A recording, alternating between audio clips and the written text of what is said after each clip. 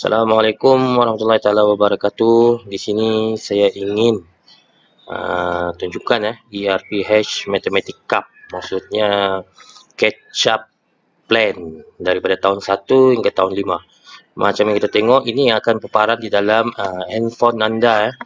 Uh, kita ada satu RPH tahun 1, lepas tu ada cetak. RPH tahun 2 kita ada cetak, RPH tahun 3 kita ada cetak. Okey. Jadi ini adalah uh, ERPH Okey. Ha, okey, contohnya bila kita tengok untuk RPS tahun 1, ha, di sini sudah saya sertakan kita bermula uh, 10 Januari ya sekolah, tapi saya sudah lebihkan kepada uh, 20 sebanyak 23 RPH. Tapi uh, kalau tengok RPH tahun 2 saya dah sediakan 23, RPH tahun 3 kita ada uh, 23 RPH juga. Tahun 4 kita ada 24 RPH. Okey. Alright. Jadi apa yang berlaku bila kita buat RPH dalam bentuk uh, Android macam ni, kita just tekan RPH tahun 1. Lepas tu kalau kita tengok daripada sini RPH ni adalah based on daripada number untuk unit. Jadi di sini saya sudah kosongkan untuk tarikh, cikgu-cikgu kena isikan sendiri, kelas, cikgu-cikgu kena pilih sendirilah kelas. Nanti saya ajar macam mana cara tukar kelasnya. Lepas tu masa mula dan masa akhir. Uh, lepas tu kita ada kecergasan pelbagai yang ada drop down menu. Kita ada keusahawanan pun drop down menu. Semua ada drop down menu ah. Uh, yang ini catatan jika tidak PDPC pun ada. Okey. Okey. Jadi refleksi. Uh, kita boleh type refleksi kita sinilah. Uh, macam contoh sini murid telah uh, apa ni objektif tercapai? Objektif tercapai. Ini contoh okey okey ini RPH nombor 1 ah ha, kita tengok. Kita tak perlu save apa-apa kita tengok balik. Bila bila ada pelawat kita just just tunjuk dia. Ini adalah RPH saya. RPH tahun 1 ni RPH nombor 1 ini adalah ah ni refleksi yang kita type tadi. Dia semua sudah tersimpan tanpa kita tekan save apa-apa just tekan back okey lepas tu ni RPH nombor 2 okey untuk cetak uh, dia ni just simple. Yang ini betul-betul uh, orang panggil uh, user friendly. Dia akan pergi kepada kita punya uh, apa ni Google Google Google Sheet eh kita panggil. Uh, ini adalah apa yang telah kita buat tadi. Contohnya loading ini uh, kita mau RPH nombor 1 dia akan ubah. Uh, dia akan ubah Okey, kehadiran uh, ni tadi objektif tercapai yang baru saya type tadi. Dia akan automatik terubah. Kalau kita test lagi ya RPH tahun 1, contohnya ni RPH nomor 1 kita kita buat di sini uh, refleksi itu test. Ha, test ya contoh. Yang di sini pun uh, BB itu kita gunakanlah projector LCD ya. Tengok ah apa akan jadi di sini. Okey, untuk RPH nomor 1 kita kita tukar dulu. Okey, okey. Back bala RPH nomor 1 Ha, ni dia akan tertukar bagi test. Lepas tu tadi BBB adalah project LCD. Okey, dia akan ubah automatik secara uh, online. Okey. Ni pergi cetak. Ini kalau kalau cikgu-cikgu masih memerlukan cetak lah. Jadi yang ini apa yang perlu dibuat pergi file, just download macam biasa buat PDF. Okey. Ha, buat macam PDF lah macam biasa. Okey. Alright, ini untuk cetak. Okey. Sekarang macam mana cara untuk kita dapatkan uh, aplikasi ini? Saya akan bagi satu link yang ini link. Bila cikgu-cikgu buka cikgu-cikgu punya apa ni Google. Okey sekarang saya ada Google yang saya akan gunakan uh, Google apa ni yang lain eh. Ha ni. Ini adalah uh, guna email yang lain. Jadi bila saya cikgu-cikgu buka je uh, apa ni link tadi dia akan bawa cikgu macam ni. Okey okey jadi di sini dia akan nampak copy this app. Jadi cikgu just tekan copy this app. Copy this apps untuk uh, menjadikan aplikasi ini milik cikgu sendiri dengan Google Sheet cikgu sendiri. Ha, bukan menggunakan Google Sheet yang saya adalah untuk yang yang saya punya. Okey. Semua. Okey.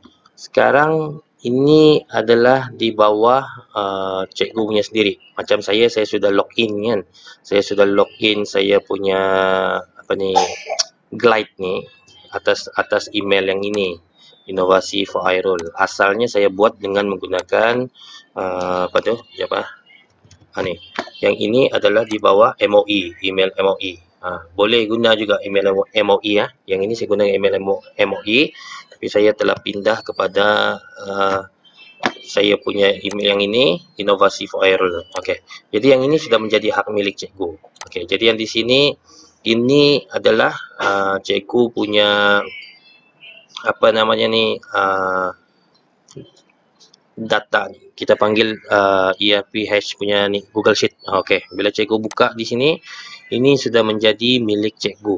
Uh, di bawah email cikgu yang macam saya email yang inilah. Ha, yang ini sudah menjadi hak milik saya. Supaya apa yang berlaku bila cikgu-cikgu buat uh, perubahan di sini tidak akan ganggu yang saya punya yang asal ini adalah uh, yang terbaru cikgu punya okey alright cuma mungkin ada beberapa perubahan di dalam cetak lah. Kalau cikgu tekan yang di atas ini kita tengok daripada cetak kita tekan sini eh. Ha, ni button bar ni cetak yang ini okey cetak ini masih uh, sekejap eh. Uh, yang ini saya punya ni. Ni yang saya punya. Cikgu-cikgu kena tukar uh, link. Yang ini sekarang siapa? Saya, saya tengok dulu kalau saya ubah sini ya. Test. Hmm. Okey, yang ini saya dah protect. Yang ini memang saya punya. Jadi apa yang perlu cikgu tukar adalah bila cikgu saya akan bagi satu link di sini link uh, nanti saya sharekan my drive ni untuk untuk kita enable cetak tu. Tapi kalau tidak mau pakai cetak tu pun tidak masalah. Okey. Ha, ni yang ini saya akan bagikan link yang ini ni link ni nanti saya akan share. Di dalam sini saya sudah simpan cetak RPG tahun 1 tahun 2 tahun 3 tahun 4 okey. Jadi apa yang perlu cikgu buat yang ini cikgu kena masukkan ke dalam cikgu punya uh, drive. Lepas tu dapatkan link. Buka link. Kita kena buka link tu uh, one with the link kita jadikan uh, ni editor. Okey lepas tu copy link ni copy saya buat untuk tahun 1 ah. Cikgu buka ini yang email yang ini eh ni inovasi for iRoll ini bukan yang asal okay. jadi sekarang kita tekan di sini nampak sini. Bila kita pergi menu utama dia akan bawa kita paparan sini. Jadi kita akan tekan button bawah sini kita ada nampak cetak ni. Jadi cetak kita tengok sini. Ah right button adalah cetak. Jadi kita ni ni ni right action apa aksi yang uh, action yang kita suruh buat kita tukar dia punya link. Kita ambil link yang tadi. Ah begini. Alright?